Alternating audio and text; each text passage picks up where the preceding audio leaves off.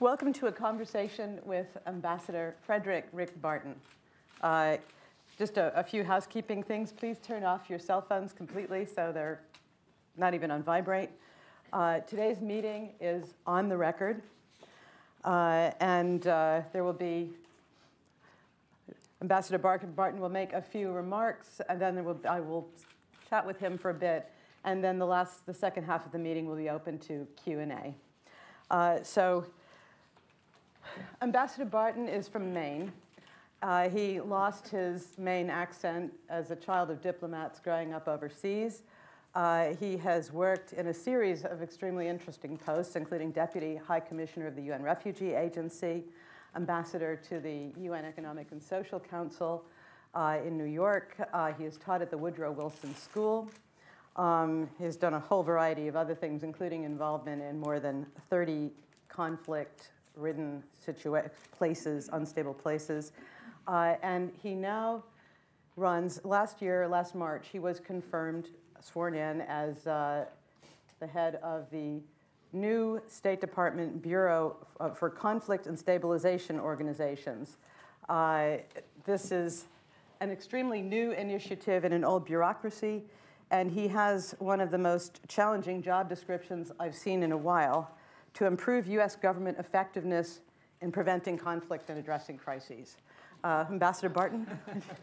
well, thank you very much. And uh, thanks for the good introduction, but also for the all the friends that have come here today. I, just about every row, there's somebody that I've had a chance to work with or work for. Hattie Babbitt was my boss for a while. Johanna Mendelson helped to found uh, OTI, the Office of Transition Initiatives at AID, which works in this space. And uh, I, I know that I've got to be brief because there are a lot of people out here who know more than I do. So uh, I will try to be I'm looking forward to the conversation and the questions that all of you are going to offer and that Claudia is going to offer as well. As she mentioned, we were created about a year ago. The, the, the, Bureau, this new Bureau, was created as a result of the QDDR process, which Secretary Clinton really initiated. And this is one of the most direct outgrowths that there was a feeling that the U.S. needed to be more effective, needed to be more coherent in the conflict and crisis space. That challenge remains what I thought I would do in the, in the 10 minutes or so that uh, I was invited to kind of set the table is to describe some of the internal challenges and needs that I think are really at the top of my mind after uh, this first year. And then some of the challenges that I think are most direct and the needs in the countries that we're working. And just give you a quick taste of that not dwell on the changes we've made uh, inside the Bureau because it really is not just a startup. There was a bit of a merger as well of an existing office that we had to take over. So it was a doubly complicated uh, uh, transaction that we've really gone through this year. So I'm not going to dwell on that. Happy to, to come back to it. And I'm probably not going to give you quite as many examples in these, in these first critical elements because I think we'll talk about the country cases. I'm sure that each of you are going to come back to some of those as well uh, as this goes, as the, uh, as the session goes on.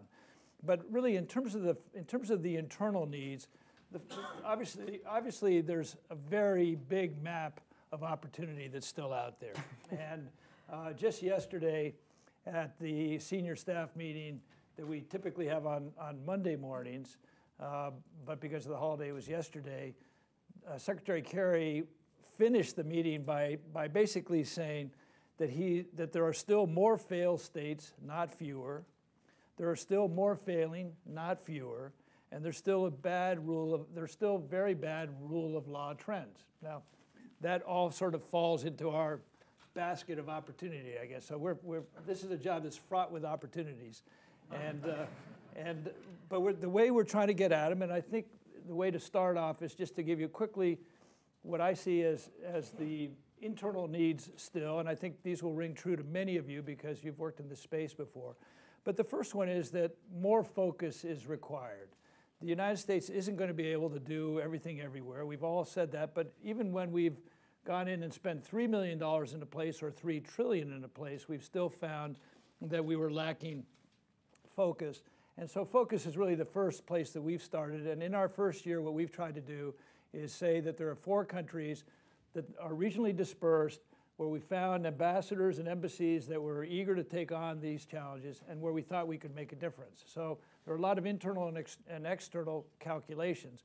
But our focus for the past year, 80% of our effort has been on Syria, Kenya leading up to the elections, uh, Burma, and North Central America, in particular Honduras. Well, that doesn't mean that we have neglected the rest of the world, but that's where 80% of our effort is. And I think that essentially that is still a challenge for the US government to, to focus the efforts. The second point is that we still need a center of gravity.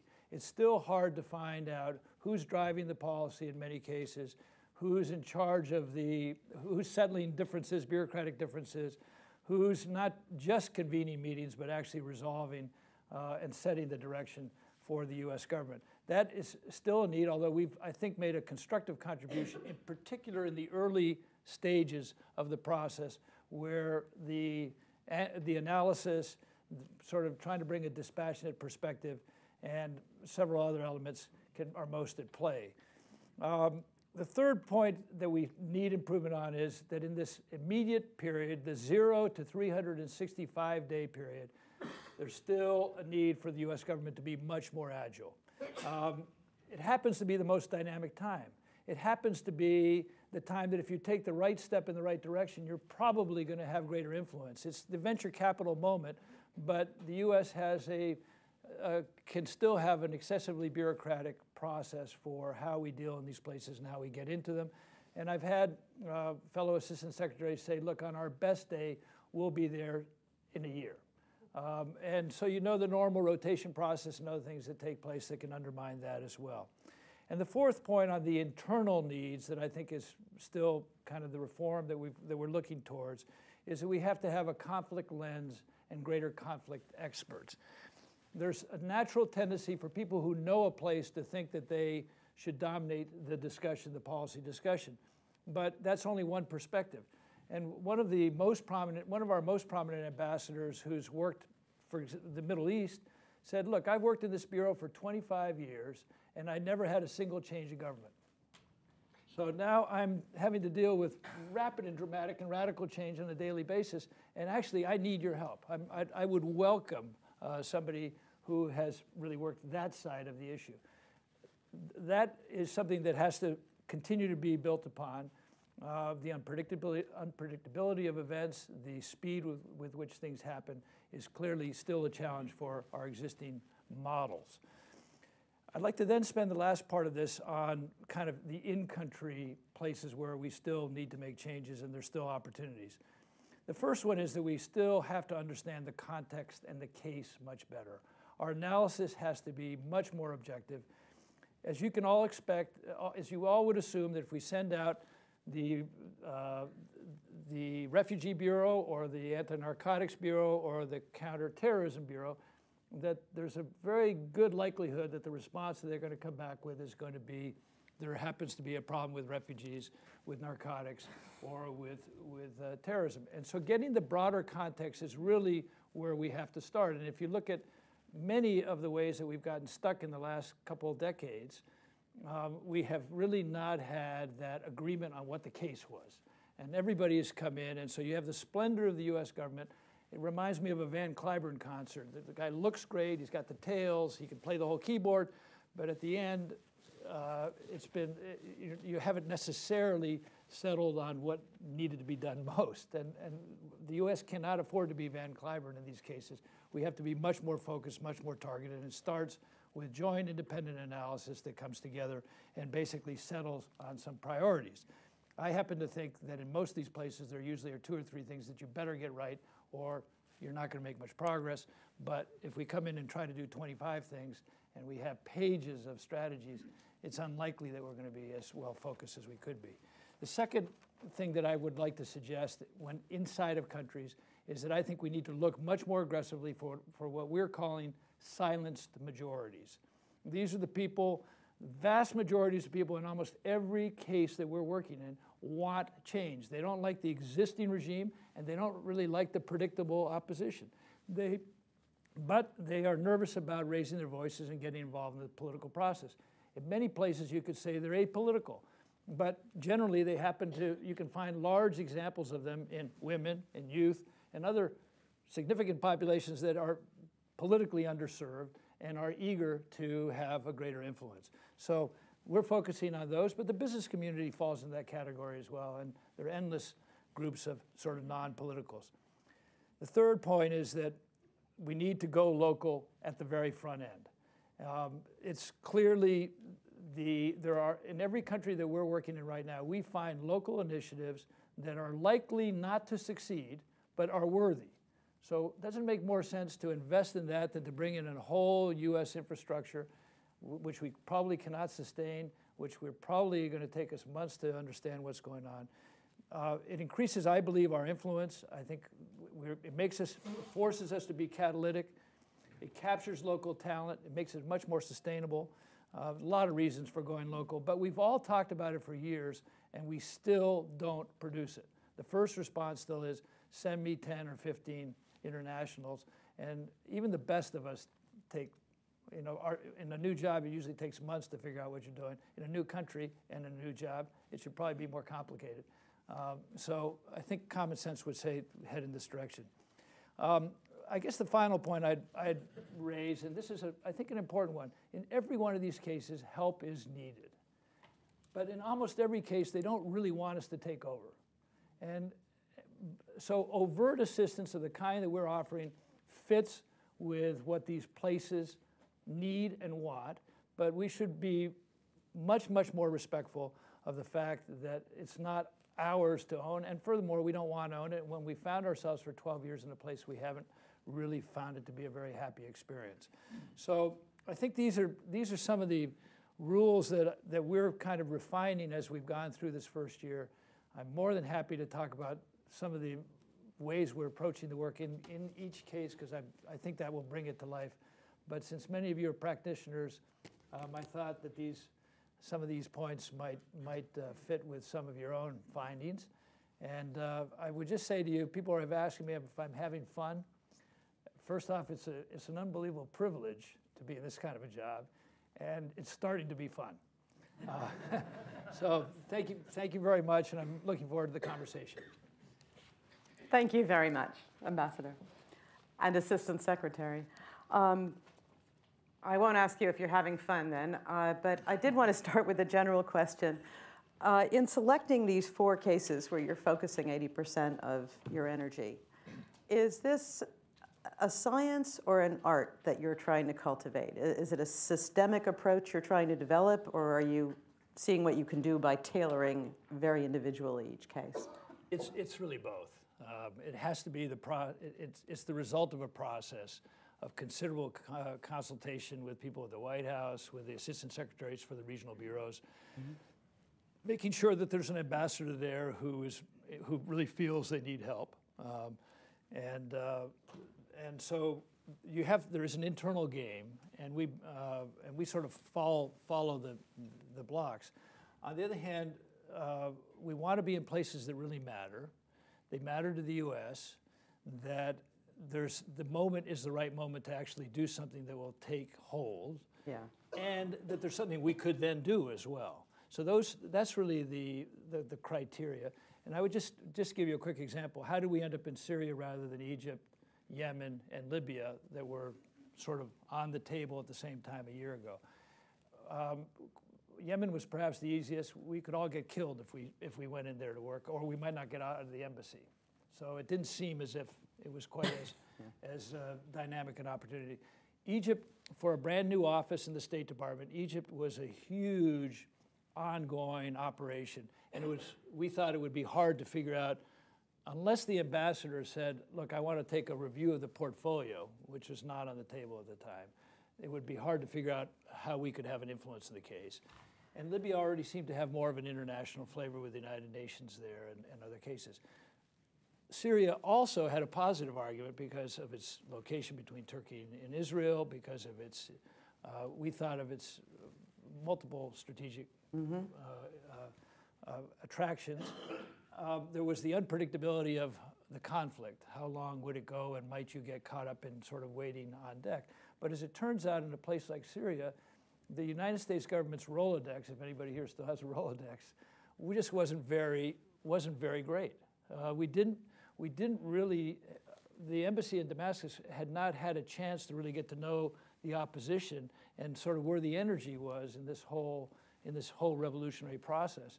And so the training and equipping that we did of non-lethal assistance to the non-violent opposition allowed us has allowed us over the last year to really broaden the U.S. knowledge of what's going on in Syria, who the key players are, and I think if you end up if you're getting closer to a circumstance where there might be either a fractionalized or, or a, let's call it a highly decentralized mm-hmm. uh, result to the conflict, then you really do want to know 100 people in Aleppo. You don't want to be dependent on just walking a white horse down Damas- the main street of Damascus and hoping that some leader jumps on and we can, we can go, phew.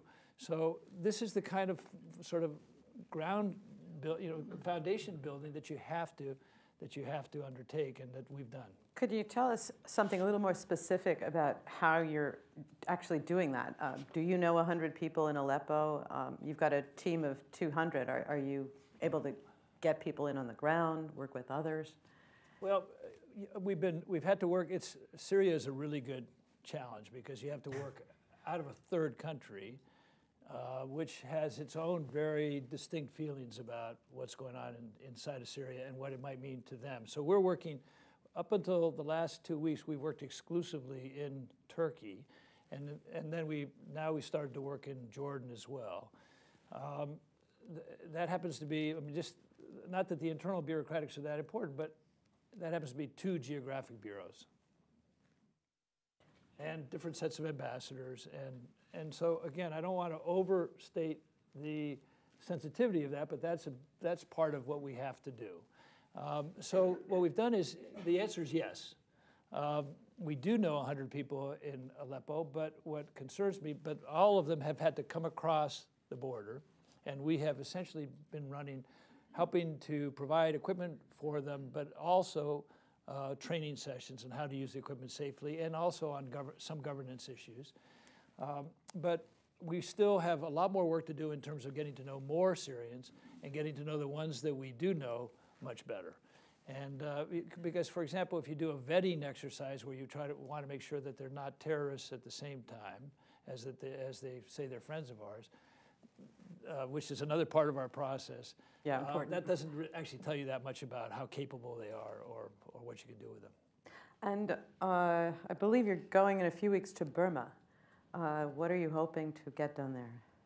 Well, uh, I mean, the U.S. policy in Burma, we try to anchor ourselves with U.S. policy, and that, seems to be a good place to start rather than inventing it. Uh, and so we think the U.S. policy in Burma is pretty clear that we want to open the place up, we want to deal with the long-standing ethnic disputes, and we want to do business. And the, these, we think the second one is probably the most delicate one. Yeah, I was going to ask specifically, how do you approach that? What can you do? Well, it's, it's been, it has been very delicate, and it's been very sensitive because the Burmese seem to be moving quite nicely on their own towards the first and third targets. And this is the one that is most uncomfortable. So we've tried to find a, a, uh, a subject matter that might breed dialogue between the parties. And the subject matter that we've settled on has been landmines, because it turns out that neither side really likes landmines and the results of them. Uh, yet there are plenty of them out there.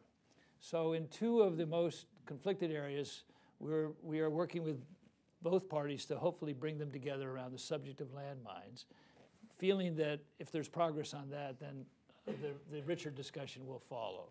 So that's the way we're going at it. And uh, can you give us maybe some thoughts on Afghanistan, where there are problems from corruption to the violence to the, are you involved at all with that?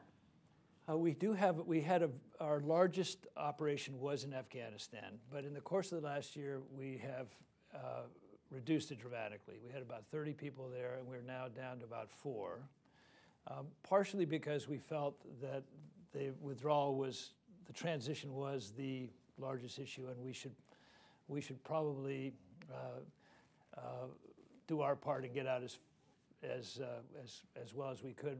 And so all of our people that are now working on essentially the transition plan. So they're doing planning for the embassy and the military on the next steps. That's, that's all that we have left in country right now. I just had a conversation with somebody the other day, and they said, gee, what you're doing in the Kenyan elections, maybe you'd think about doing in the Afghanistan elections. Uh, so we're just starting. What are to, you doing in the Kenya elections?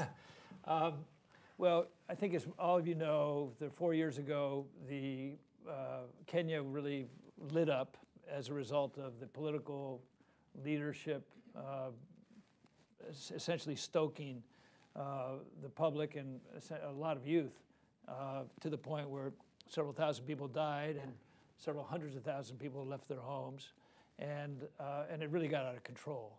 And so that's the focus of what we're doing. I think what the embassy had asked us to do was help us drive all of our attention to the election-related violence because if that happens again, it will be by far the worst thing that could, that could happen to Kenya. So we felt we're on the right issue. Now, what could you possibly do? we felt that there would be a great deal of attention provided by the U.S. and other international partners to the election, to the logistics of the elections. It's, in a way, it's, it's uh, in both a flattering and a way, it, it's a bit of an industry now. There are a lot of people who know how to do elections, and, and, and even though almost every election has ballot problems and delayed and, and delays, that we still now seem to find the finish line. So we felt that there were the, the greater problem was if there was violence, who would check it? Kenya is going through a period of, of amazing reform right now. They've got a new constitution, they've got commissions for virtually everything under the sun. It's almost over reformed in the sense that it's got too much for the body politic to absorb at the same time. And the police reforms happen to be lagging behind. Now, we had to make an assumption that the police probably would not be in shape to, to do what we would hope they would do. And standing and, and, uh, and uh, belaboring that point, we didn't think was particularly uh, smart either. So what we've tried to do is to find ways of using a, an amazing network that the U.S. government, AID, State Department, and others have, have already got underway for fighting AIDS, for fighting, for, for horticulture programs, for a series of initiatives that are going, that are ongoing in place.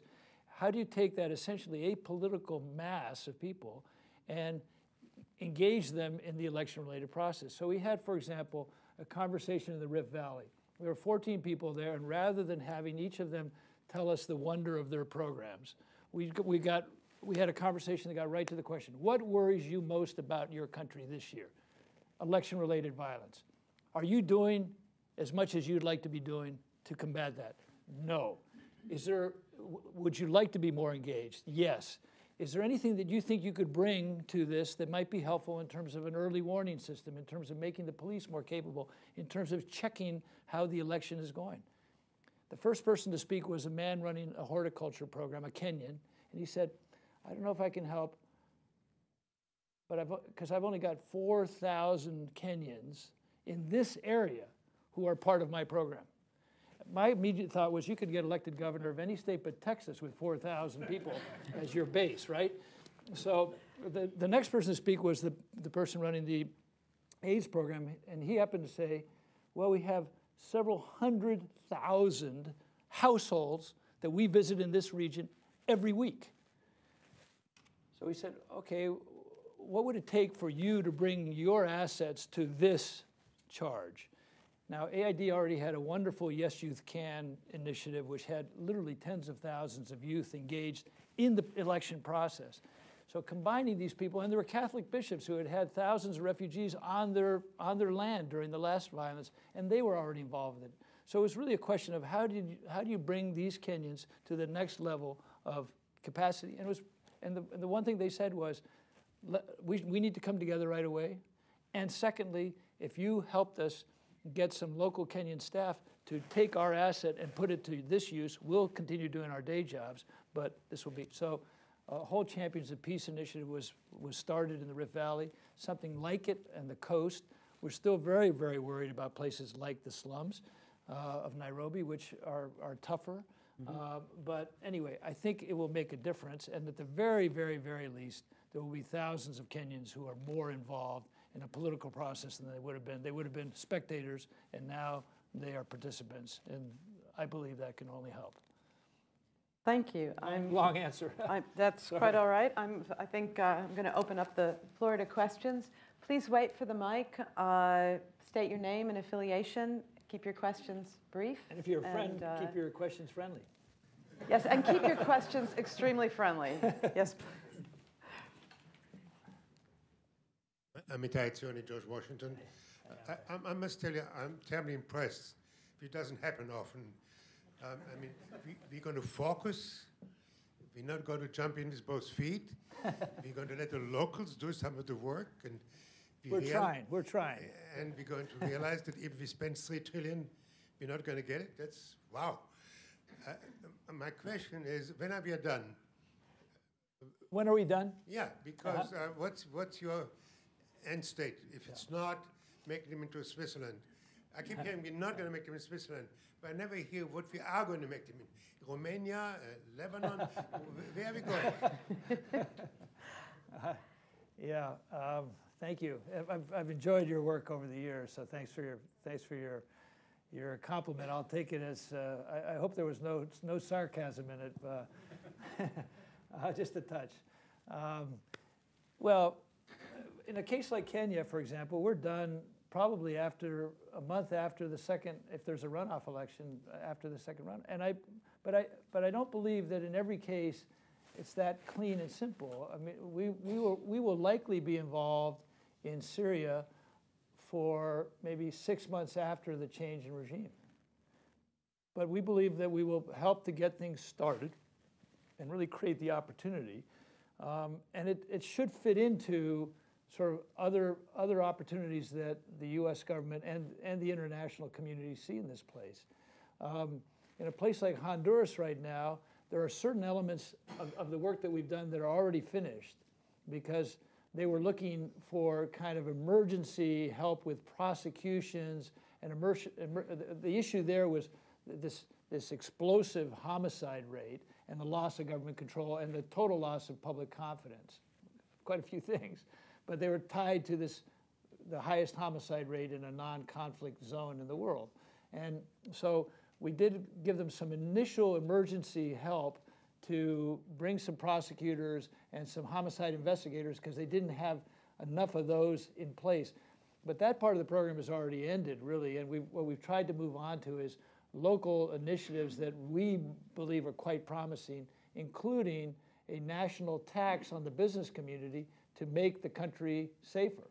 Something that took considerable legislative action, but the likelihood that, it was, that it's going to be implemented particularly well is not that great. So how do you, how do you try to build a success out of a nice idea that might or might not work?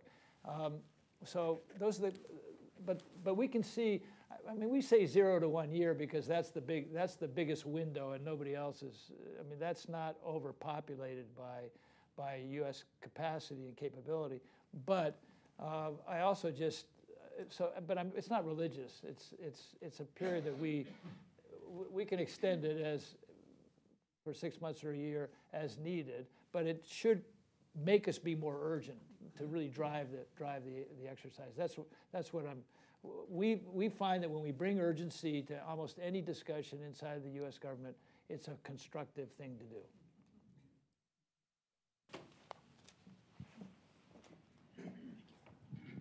I'm William Embry from DynCorp International. Uh, Hey, Will. There are a number of uh, areas in the U.S. government that look at failed and failing states. The Undersecretary for Political Affairs has that responsibility of state. There's the CIA's uh, Failed Failing States Index, and the uh, NSC uh, chairs or used to chair a interagency coordinating committee to look at failed and failing states. How does CSO play in this?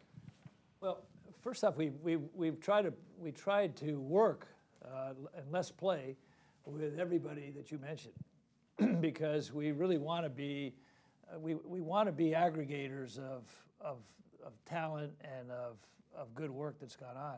And for example, even in something as simple as an, seemingly as simple as analytics, we we have a we have a meta we have a metadata analyst in our in our shop now, and but we don't want him to we want him to be an aggregator of aggregators. I keep saying to him, you're you've got to be Nate Richard Nate Nate Silver on steroids. Uh, because you do, we can't possibly run enough stuff through you, so you've got to go out. And it turns out the intelligence community loves being called by the State Department. Uh, they, they, they're flattered by it. They, they want to they wanna have their work uh, respected and called upon. And so it's, it's not hard. And it's the same thing with the military community. There, oftentimes, I th- there, there have, may have been times when the State Department has not been as friendly uh, a door as it could be to, to these other partners. And I think, uh, in, in particular, when you get to something like the policy making, there's been a there's been a kind of this secret formula, sort of like uh, Kentucky Fried Chicken. You have to go into the back room, and uh, nobody can tell you what the what the elements are. And I happen to believe that the that that the process should be widest at the beginning, and then narrowed down, rather than be narrow at the beginning and then hope that everybody's going to jump on board. So that's the way we're trying to do it. Question over here. Each, each time I give an answer, it, 10 times more hands go up, so I'm, I'm obviously not clarifying. I want to hear about how the intelligence community loves being called by the State Department. But yes, Hi, Pauline Baker, the Fund for Peace. Rick, I'm also impressed at the, the process that you've gone through, and particularly it being catalytic in terms of the bureaucratic politics of it, not just bureaucratic in terms of the impact on the ground. But I have something of a concern about the t- short time horizon. You said it was the window is zero to one year. And the real problem with failed and failing states are that there are deep seated structural issues. And if you're really going to get at the heart of that, you have to have a longer term strategy um, of some sort. And even if you use the example of Kenya, for example, uh, sure, everyone's concerned about the elections, but one of the problems we've had in the past is that we focus on elections and then go home and think everything's okay, and it's not. So, how do you get to the next stage of what you're doing, where you really get to some of the fundamental underlying drivers of uh, failing states, rather than just the triggers? Right. Well, I, I think, I hope, uh, and in, in my answers, but I know, I, but even more so in our work, that we are we are touching on those issues right at the front at the front end. That we're not we're not just running through an election process, but we're really going at the core issue of, in particular, in a place like Kenya, of surrounding the political elites so that they don't have the room to to instigate violence around the country. So it's basically the, the big the bigger idea of getting all these people in play is that they will not only tame idle youth, but they will let the political candidates know that the space that they're operating in is shrinking dramatically every day in terms of how they can incite the public. So, so it is. It, it starts with precisely the behaviors of the of the political elites in that country, and it has. And it, but it, but you have to figure out how you check it, because in a place like Kenya, you've got a wonderful press, you've got a very rich civil society, you actually have some rule of law. I mean, a lot of things are going on that, that don't exist in other places, but there's been something that has been used over and over and over again through the decades, and it tends to, at least our analysis has been, tends to come back to a few players who have been acting highly irresponsibly, and they're trying to limit the political dialogue to one of, of tribal divisions as opposed to, to how the country is run and how, uh, how it should be run looking forward. So, but so it's not, and I, the second part of the answer is there are many, many parts of the international community, including the U.S. government, that actually play the, lo- that are there supposedly to play the longer game. And in some cases, it takes them two years to get there, three years to get there, but that's where most of the money is. There t- happen to be two places where the money sits in our system. One is in the instant emergency, and the other is in the longer term play. And in between, we haven't done that good a job. And I don't think we've even done, done that good a job of getting started in the right direction. And if we get these programs, if, if somebody who's working on AIDS starts worrying about the, po- the political elites, they're going to be much more effective in terms of what they do with their AIDS program as well. So I think it's, uh, I think there's, I mean, we're definitely thinking about it. And, but I, I see I see what the US government needs to do is to be much more vectored on the problem, and we're here at the beginning of the vector, okay? And what we do should fit inside of this vector, and it should be highly catalytic. But we're not responsible for the whole, the whole ride, nor is any part of the international community. It's got to be a contributor. So I think there's been a paternalistic mindset as well, which is a whole other issue. But um, that we've come in and we've said, okay, we'll fix this place. At the end of the day, it's probably like having an alcoholic relative. You know, you, you, you're going to have to help out where you can, but let's keep it on focus. If you and, and, and that that's uh, that's not easy, by the way, because we have a lot of wonder. We have a lot of wonderful things we do like to do. Hi, Shankar Singham. Um, I've got a question that's a follow-up to that question on um, rule of law. You mentioned rule of law and failure of rule of law in failed and failing states, and the real problem is a lack of governance. And to what extent, on business and economic development and creating or helping helping them create a better economic environment, um, uh, to what extent does do you get involved with that type of work? Because there's a lot of um, seeding projects you could do in that area, Sure. which could have real long-term implications, especially in a country like Honduras. Sure, sure. Um, no, uh, I'm not sure this is exactly answering your question, but we, we see the business community as being a huge area of opportunity that hasn't really been uh, called upon as aggressively as it should be in these kinds of cases. And so we're trying to do that. I'll just give you a couple of quick examples. Uh, we had a dinner one night when I was uh, in Mombasa, and the, the general manager at a hotel, the general manager of the hotel said something like uh, he had 684 rooms, and during the last round of violence, he had eight guests in his hotel. So he was very attuned to uh, how radically things could change if they're not managed well. Um, in Honduras, this tax uh, on the business community has to be managed, has to be collected fairly. Uh, already, there are signs that the collection is is uh, is dropping. The collection rate is dropping, or the compliance rate is dropping. Uh, it has to be spent wisely. Um, there are signs that it, that the that it could be used as a slush fund by by uh, uh, key political operatives. So these are the kinds of challenges that, but the business community can't afford to privatize their entire security operation in a place like Honduras, which is what effectively people do. And then even when you have totally privatized security operations, such as oil uh, compounds, they too are not uh, immune from from the, the, the, kinds of disturbances we're seeing. So we've, we've obviously got to think about this in a much more uh, sophisticated way. And these people have a huge interest and huge investments, and they haven't been particularly necessarily forward-leaning. They've taken care of their own, uh, their own as opposed to the societal uh, plan, and so we've got to figure out how to, how to engage them more broadly. But we are keeping that in mind everywhere.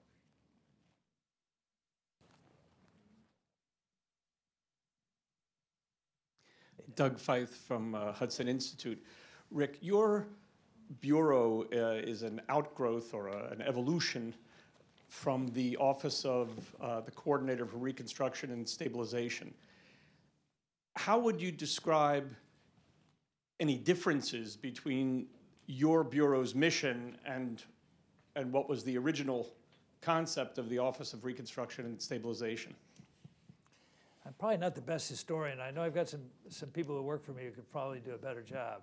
Um, but uh, what I could say is that when I, when I was offered this, when, this job by Secretary Clinton, um, the prior office had lost the confidence of, of, uh, of, key players on Capitol Hill and others in the U.S. government. So I just thought it was a chance to uh, start over. And I think that probably a lot of what we're doing was originally was in the original conception, and uh, and we've tried to. I'm trying not to throw out the baby with the bathwater. Uh, probably nobody said that since their grandmother died, right? But I don't know why that phrase came up. That's um, perfectly but, good. Uh, so, so my feeling is that I think the original intent was to be strategic and to have a policy influence. And then I think when it went through its middle stages as a coordinator, it had lost it had never gained traction in the State Department. And so it then went into a kind of a supplier of people, and uh, which I thought was too limited. Um, so we've tried to recapture that we want to be part of the policy conversation. And I mean, we've, we've been very fortunate to have the, obvious, the, the, the dynamic support of Secretary Clinton for the first year of our existence. And now what we're finding is, uh, I've only been in a handful of meetings with, with Secretary Kerry, but in every one of the meetings, every one of the meetings, he has said, bring me ideas, give me some out of the box thinking. We've got to find another way of doing some of these things. Which, and, and I, I, I'm hoping that our bureau can be a, a, a, a, a, uh, a very aggressive supplier of ideas and of different ways of doing things. And that way, I think we'll, I think if we come up with good ideas, we'll have influence on policy. We'll be invited to the right meetings, and we'll be seen as a valuable uh, instrument of change with, for U.S. foreign policy. And I know that's the case with the embassies that we're working with. So, in, you know, a lot of you, I mean, I don't know, how many of you have worked in the state, how many of you have worked in the State Department? So uh, I'm- I'm probably not, I'm probably not speaking a totally foreign language here uh, to, to you, but you would understand that we've got to do it one day at a time and occasionally with a big idea. But one day at a time is, is probably, I, you know, this is kind of a digression, but about two or three months ago when it was kind of in a relatively stressful time in this job, I thought, you know, why am I doing this job? And then I thought, well, you know, I might have one advantage that a lot of people don't have. I'm the youngest of three brothers. That means for the first three years of my life, first 12 years of my life, I, have an, I had an undefeated losing streak. I lost every time I, every time I did anything, I lost for 12 years. But I, I, my favorite line was always, let's play again. Let's play again, let's play again. And I can tell you, I got about a 50 year winning streak on my middle brother right now in tennis. So you can, you, can, you can get to that point, and that's sort of the way you got to do it at the State Department. You got to be there every day. It's persistence. Uh, Marisa Lino from Northrop Grumman. Um, I like the what you were just saying about new ideas, and I think there's a, a place just a couple miles from here with a deadlocked uh, government that could use some new ideas, but that your bureau might might provide. Just kidding. I'm sure we won't be invited. My question is, uh, how will sequestration affect your bureau?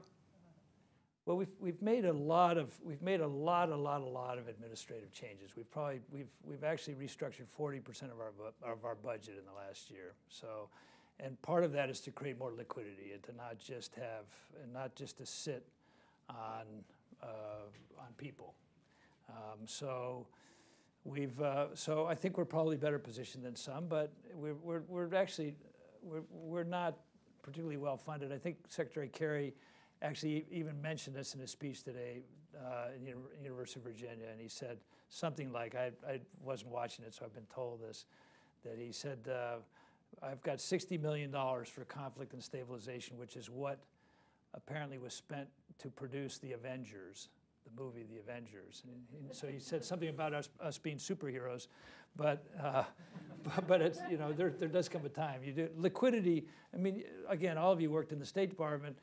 You know that having a little liquidity, good ideas is great, but liquidity is also really important. And this is something I, I did talk to uh, Secretary Clinton about when I took the job that I'd just like to be able to go to any ambassador and say, I got a couple million bucks in my pocket. But also, it's important for the people that work for our bureau that they go out and they think they've got a million dollar credit line from the taxpayers, so they're forced to be creative. Otherwise, it's like, I don't have money, I don't have the time, you know, I don't have enough people.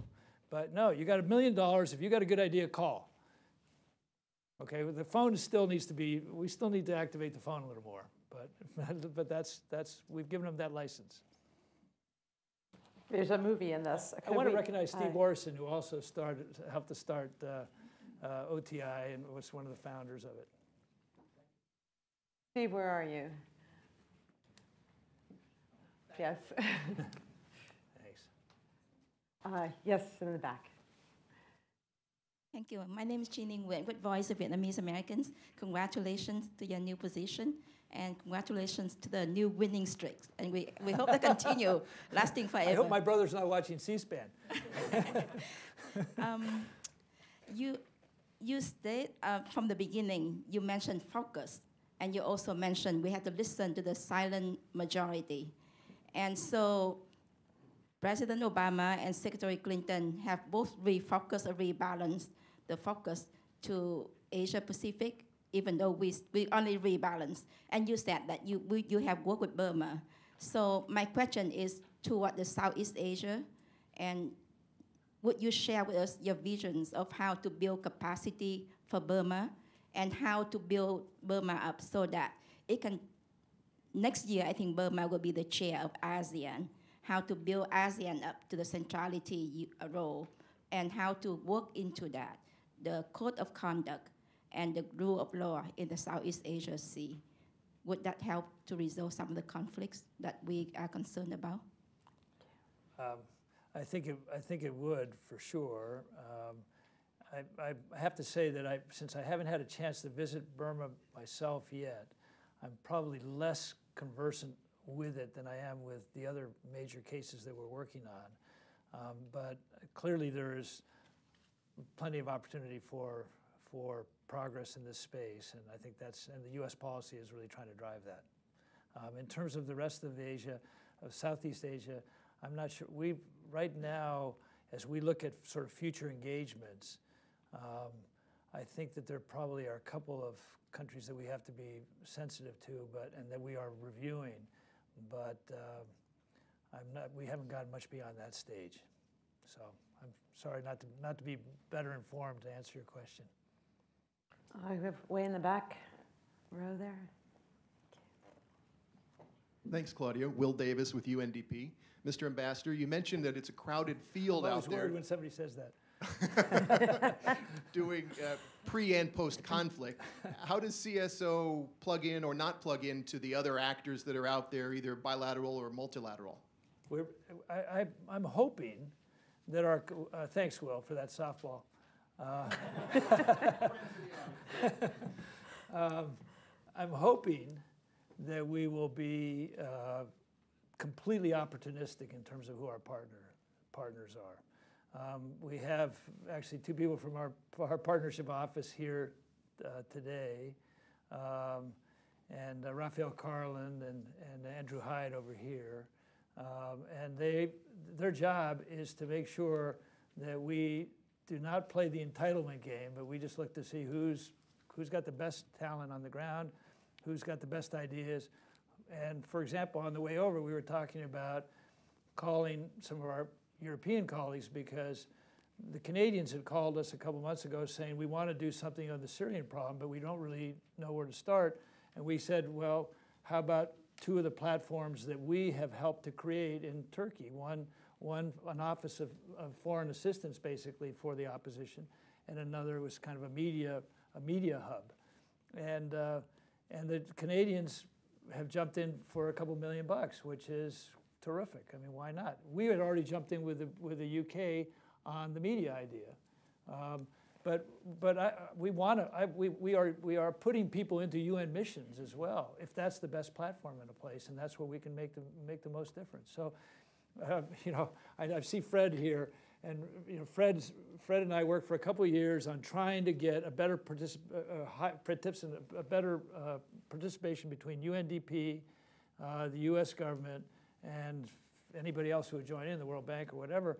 And we, we had a little experiment going in, in Mozambique, which seemed which seemed you know, promising, and because we all realized, do we all have to put the same kinds of people on? Do we all have to rent all the good housing? Do we have to hire all the teachers to drive our cars? Can't we, can't we actually concentrate our effort and really, and really be uh, more, more effective? And, and, and uh, I believe that we have to do that in, in, in fiscally constrained times as well. And furthermore, it's better practice. So, I mean, it's not just about money, it's actually just better idea because nobody's that smart. And it's hard to get a really good leader. If one of us had a good leader in any of these places, let's all fall in behind that person because getting three good leaders in one place is almost unheard of. Uh, so, so it's the real limitations here. And, and I think uh, if, if we're more honest with ourselves, we'll be more effective and we'll, our partnerships will be richer. A question in the front here. Ambassador Don Bandler. Um, I was What about, uh, Just for others, I can hear you. okay. Um, Tanzania and uh, Malabo, the very small state, which at, at one point was uh, really uh, doing very well, and now it's uh, almost n- nowhere.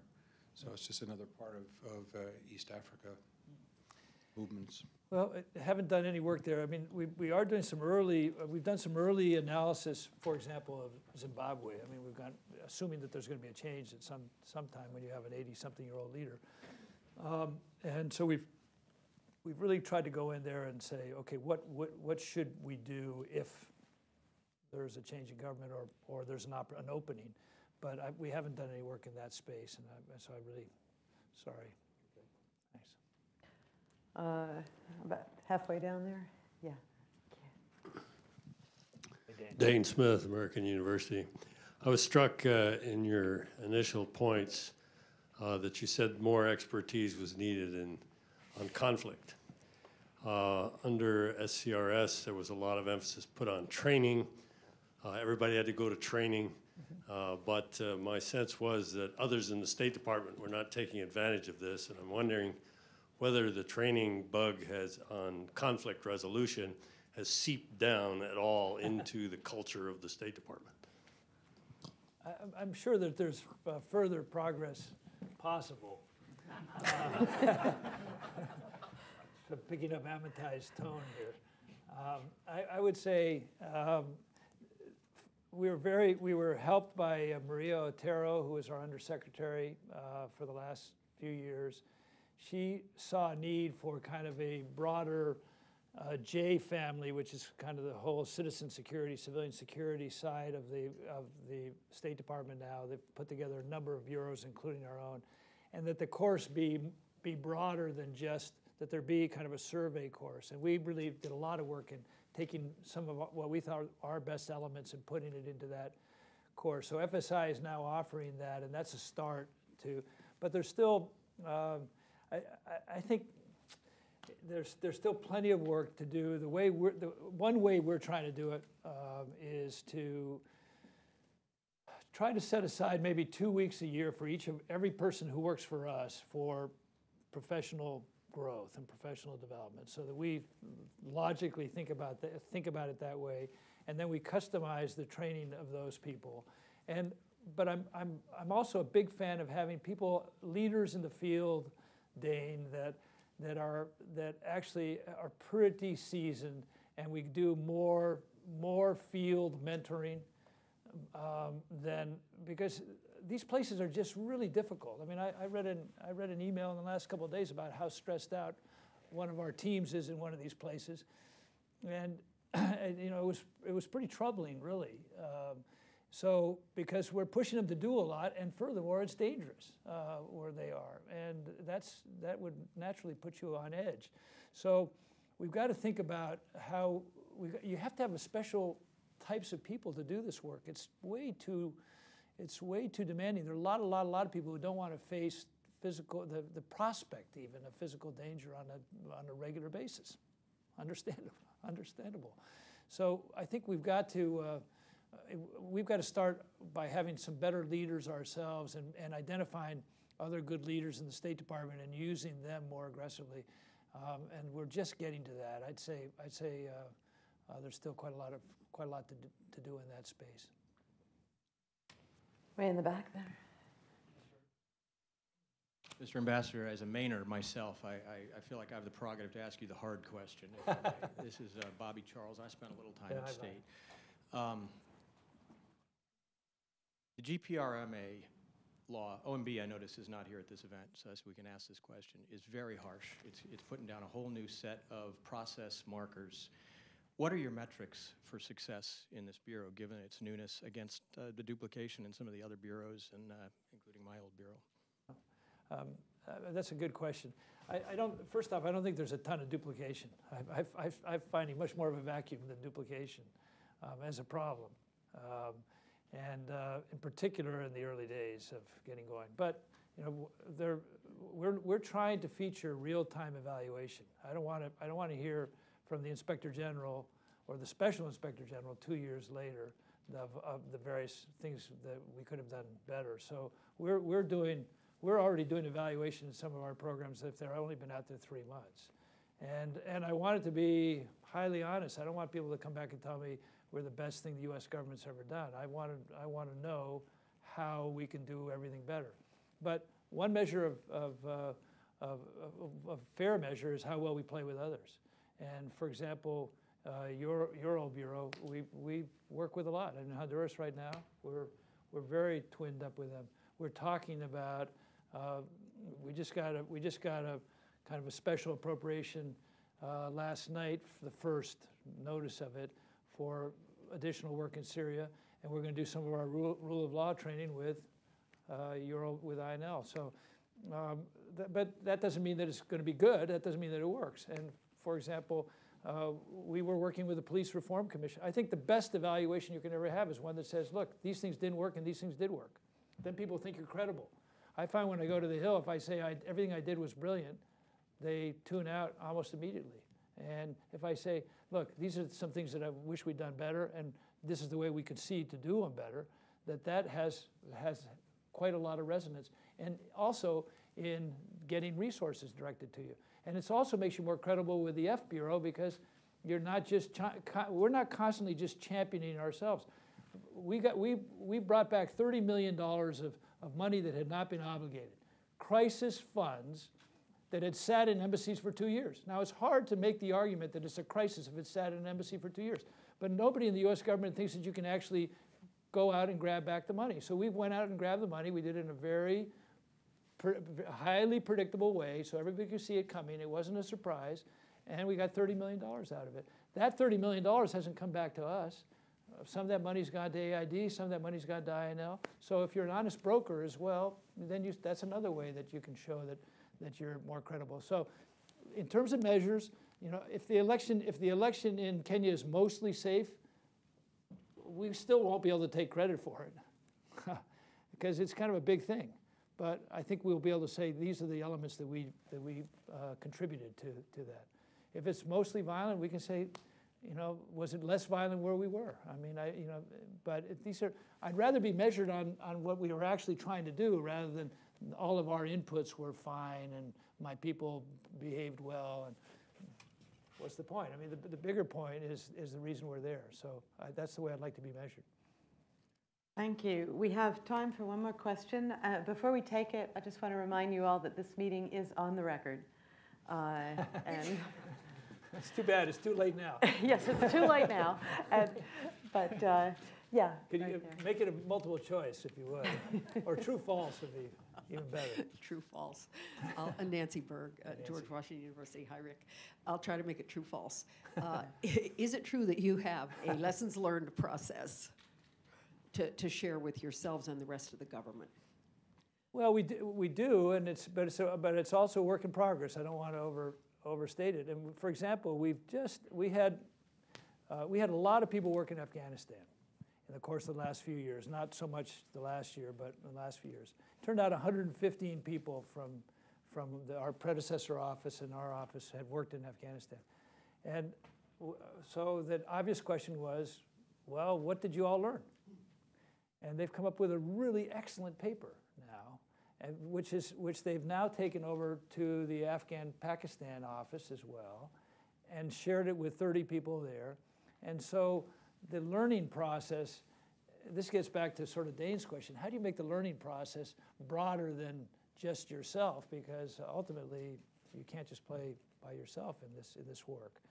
And so that's the way we're trying to do things. We do have we're asking people if we do a, round, a tabletop on Mali on Friday, how do we package what we've learned on Friday so it gets through the State Department and AID and the intelligence community, anybody else at the White House, anybody else who thinks, the Defense Department, who thinks that they are part of that, part of this exercise. Because even if we're, even if our, the, the six experts that came to our, our roundtable aren't, aren't right, um, they have surely said something that's of interest.